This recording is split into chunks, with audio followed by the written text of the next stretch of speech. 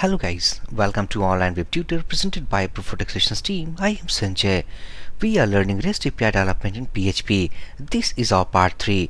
Inside this video session guys, firstly we will create our database table as well as we will make some connectivity with the file called database.php. Let's say that we are going to develop our REST API in student section. It means we have a student table. Inside that student table, we have some data and on the behalf of those data actually, we are going to perform our CRUD operation. It means create, read, update and delete operation. So firstly, we will actually need a table for that. So if I back to our PHP my admin, now this is if I click on go button, now firstly we have to create our database. So if I click on databases, now let's say that we're going to create core rest underscore let's say php underscore api if i press enter now database created successfully. So right now inside this database we have no tables. So firstly we will actually create a table. So that table is something called tbl underscore let's say students table. And it will contain let's say about six columns. Press go button. And inside this table now we are ready to define our schema for this table.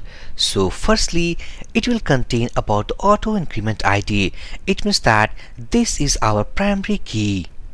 If i make some zoom so this is id and the next column we want something called the student name student email, student mobile number. If I scroll down, let's say that this should be let's say status means the student is active or inactive and finally at what time basically we have created that record. Now let's choose about the data type. So this created add should be timestamp and the default value actually we want to insert something current underscore timestamp. It means this column if we are going to insert no data inside this column then this column automatically picks the data about current timestamp of the MySQL server and status should be int and the default value of a status let's say that it is something one value and one represents active here. Now the column something mobile and the mobile let's say var varchar and it should be let's say 15 characters in length and the default value that it will contain the null value. Again for the email address it also should be var varchar let's say 50 characters in length and the default value should be null and name is varchar and it also let's say 80 characters in length and it should be also null value. If I scroll here now go at the top. So the first column that is id we have made we want to make it as a auto increment. It means that it should be a primary key. So press go button. So successfully we have assigned each and every column with their respective data types so finally if we press about the go button let's save now if we back to our database dot means REST PHP API our database. Now inside this database this is the first table we have created. If I click on this table this is my MySQL server error so don't worry at all. Now this table has no data. If you go to structure now this is the structure what we have created so far why we have created this table? Because on the behalf of our APIs for the create means create.php we are going to insert some data inside this table. From read.php file we are going to read all the data from this file. And from the update we are going to update any informations inside this table with the help of this primary key. And for the delete we will delete some data by the help of this primary key. So all the operations of our REST API should be dependent on this db underscore students table so that's why we have created that. Now let's get started about the some codings. So if I back to Atom editor now this is our database.php file. Now inside this file we are going to connect our database connectivity code. And remember that all the codes actually what we are going to do inside this REST API development we will follow up down object oriented What does it means? It means that we will make some class of database, some class of our file called student.php and we will make object of each class inside this v1 files and we will access on APIs. So that's why this is object oriented. We will follow each and every step that how can we create a class and how can we make a instance of that class. So firstly, let's get started about database.php file. So define our PHP tag and inside this PHP tag, I'm to define a class and let's say database. Inside this database, now we have created that class. Now we have to define some variables. So let's say private and this should be host name. Private, let's say it should be db name private it should be username why we are defining. So let's say private and it should be let's say password. By the help of these credentials means host name database name username and the password we will make the object of our mysqli and finally one more variable which contains about connection details. So this should be something called con here now successfully we have defined our private variables inside this class. Now next we are going to define a method inside this. So let's say public function and this should be connect method. Now inside this connect actually we are going to make the initialization of these variables and also we will use about MySQLi function to connect with our database. So here if I make some comments so this is all about variable and this should be something declaration. Now inside this class we are going to let's say variable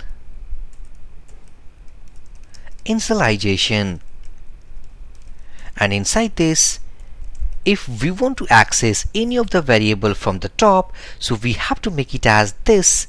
This refers to the current class alice host name so this host name refers to this variable and the host name it means that our server is localhost because what we have opened MySQLi server at the localhost this is our host name. So localhost next we have called this db name and the database we have created if we back to browser so this is our database something rest php api so copy that and pasting it here now the next we have called this username and username we have called root.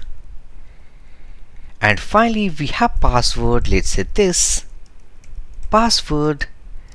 And this should be actually I think that MySQLi server in my case root is the password. In your case it should be different. Now finally after initializing each of the variables let's connect our database so this. Connection variable equal to new. Let's say mysqli this is mysqli function. Basically it's a class. And now by the help of this construct function of this class now we are going to make our connectivity. So the first variable we have to pass called this host name. So pasting it here. Now the second variable we have to pass call our database name. No it's a username. So copy that pasting it here. Now the next we have called our password. So this password. And finally we have this as a db name. So successfully we have actually given all the required parameters or the needed parameters inside this MySQLi and it will return about about the boolean status of our MySQL i database connectivity if MySQLi is successfully connected with our database with all these details, then it will return about the connection details, else it will return some error. So let's say that firstly, we need to check that either we have some error or successful connection object variables. So let's say if this connection, let's say error, it should be error no, means to check the status actually this is not only error no it should be connect underscore error no it means we have some error in our connection then it will return the status means either true or false. It contains means the return value of this property is our boolean value. So in case of false value it means we have some error. So we need to print that. So print r let's say this connection means con variable. Here is the connection variable. And let's say connect underscore error. Now it will give our connection error and finally we need to exit from this class as well as from this method. Now else it means we have successful connection. So return this connection so finally guys we have made our database class. Inside this database class we have now private variables. And inside these private variables we have assigned some values means our database connection details. And we have used MySQLi class. In that construct function basically we have passed all the parameters and try to make connection with our database if all these details if it true then it returns about the boolean value as true value otherwise it will contain about the false value. So after getting false value means after getting true value it means we have some error. After getting error now this is all about printing error message. So here if I write flag so let's say true it means that it have some error. Otherwise if it contains false value it means that no error in connection details. So this is the file basically we are going to use with our means all these v1 files. So for the time being how can we check that this file is working or not? So obviously if I copy this class name go at the footer and let's say that db equal to new and the database.php means this is the class. We have successfully created an object and by the help of object actually we are going to use or check that this file is working or not. If I copy this object and let's call the method actually what we have made as let's say connect and this is the method actually we had defined right here inside this class. And we are going to call this method for the help of this object. So for now actually we don't want to return this connection variable. Now this time I'm going to use print r to check via our browser. Now if I save all these changes back to browser open a new tab and let's localhost.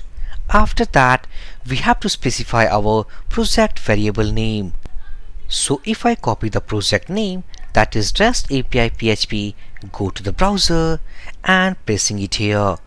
Now inside this right now we have three folders what we have created called classes, config and v1. Now inside this config folder we have called database.php. So if I click on this file now as we can see that our connect means back to our editor now means it has executed also for confirmation if I write some message that is something let's say hyphen hyphen something successful let's say connection so save all these changes back to browser reload this page now as we can see that here is the prefix what we have added called successful connection. Now let's say that if we have some error in the username something root 5 and as we know that this is wrong username. So if we save all these changes back to browser. Now access denied. It means we have some error. Again if I make our database name wrong go to the browser reload this page. Now unknown database. It means this file is now working so making a successful connection with our database each of the credentials and the code of this file called database.php should be in correct way. So if I comment all these things what we have means return to check our file working because this file should be accessed by our API's files. And finally we have to make uncomment of that again back to browser reload this page now nothing appears because we have not created also we have made comment of the created object so successfully guys by the help of this database.php file we have created this class and completed all the functionality what basically this file will perform. Now in the next video we will do some coding standards for our student.php. Now student.php basically inherits this file or let's say extend this class to actually make our database connectivity to perform all the CRUD operation. Now inside this video session guys, if you have any doubt then please drop your comment. I will give my reply as soon as possible. So for this video session guys, thank you for watching and have a great day.